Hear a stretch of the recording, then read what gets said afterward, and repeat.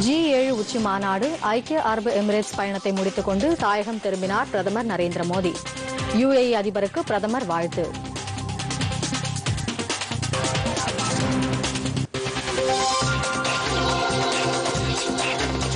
உதயமி பாரத் திட்டத்தின் கீழ் சிறு குறு நடுத்தர தொழில் நிறுவனங்களுக்கான புதிய ஊக்க நடவடிக்கைகள் பிரதமர் நரேந்திர மோடி நாளை தொடங்கி வைக்கிறார்.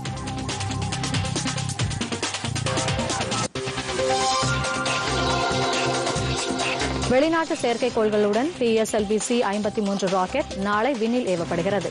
கவுண்ட் டவுன் இன்று மாலை தொடக்கம்.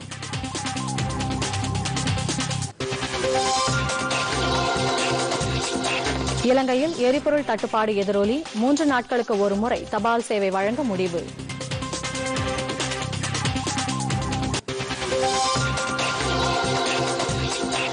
அயர்லாந்துக்கு எதிரான இரண்டாவது இருபது ஓவர் கிரிக்கெட் போட்டி நான்கு ரன் வித்தியாசத்தில் இந்தியா வெற்றி.